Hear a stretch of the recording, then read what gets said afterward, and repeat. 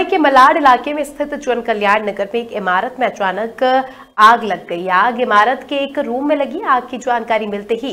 fire brigade की पांच गाड़ियां मौके पर पहुंची और आग को काबू करने में जुट गई इस घटना में अभी तक किसी के घायल होने की खबर नहीं मिली है आग कैसे लगी अभी तक कोई जानकारी नहीं है